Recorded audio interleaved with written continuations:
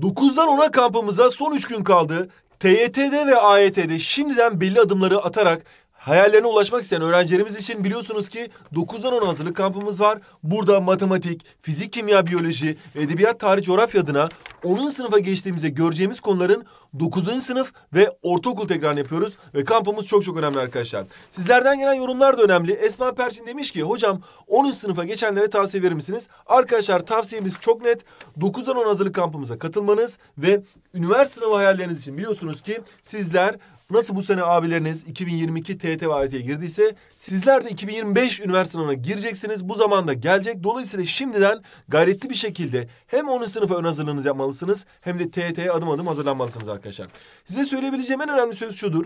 Acı geçicidir ama zafer kalıcıdır. Yani bu yolculukta, bu TET yolculuğumuzda 9'dan 10'a, 10'dan 11'e, 11'den 12'ye, 12'den üniversiteye giden yolculuğumuzda tabii ki birazcık sıkıntılar çekeceğiz, acılar çekeceğiz ama bu acılar bize çok büyük zaferler getirecek ve zaferlerde kalıcı olacak. Biz bunun lezzetini bir ömür boyu yaşayacağız. O yüzden şimdiden belki yaz tatilinde tabii ki yapmamız gereken ilk şey enerji depolamak, dinlenmek, tatil yapmak ama 9'dan 10 hazırlık kampımızdaki videoları takip ederek, 9'dan 10 hazırlık setimizdeki soruları çözerek çok güzel bir şekilde bu üniversite yolculuğumuza ciddi yatırımlar yapmış oluruz.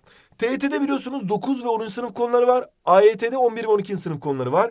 AYT son anda ezbere dayalı sorular soruyor ama TYT gerçekten yoruma dayalı ve en baştan temel isteyen bir şey. Dolayısıyla 9. sınıf tekrarı ve 10. sınıfın ön hazırlığı gerçekten çok çok önemli. Peki bizim yaz okulumuzda 9. ön hazırlık kampımızda neler var? Arkadaşlar burada sizler için yaptığımız kampta 9. sınıfta ve ortaokulda gördüğümüz konuların 10. sınıf açısından tekrar yapıyoruz. Yani şöyle gösterelim bakın. Mesela setimizi açalım. Burada diyelim ki bir tane kitap alalım. En üstte ne var mesela? Fizik, kimya, biyolojinin olduğu kitap var. Sonra edebiyat, tarih, coğrafya, sonra matematik var. Mesela matematiğe bakalım. Matematikte 10. sınıfta fonksiyonlar konusunu göreceğiz. Bu konuyla alakalı biz ortaokul tekrar yapıyoruz. Ortaokulda da bu konuyla alakalı çalışmalar yapmıştık. Koordinat düzlemi diye. Ardından koordinat düzleminden sonra doğrusal grafiğe bakıyoruz. 9. sınıfta bu konuyu biz başka bir konu açısından gördük. Bunu da tekrar yapıyoruz ve böylece onun sınıfa hazırlanmış oluyoruz. Aynı şey olasılık konusunda. Aynı şeyi işte üçgende alan konusunda, eşit benzerlik konusunda, özel dörtgenler konusunda TET sorularıyla, ortaokuldaki konuların tekrarını içeren sorularla ve 9 sınıf sorularıyla 10. sınıfa hazırlık yapıyoruz. Aynı şeyi edebiyat, tarih, coğrafyada, fizik, kimya, biyolojide de benzer şekilde yapıyoruz. Mesela fizik, kimya, biyolojiye bakalım.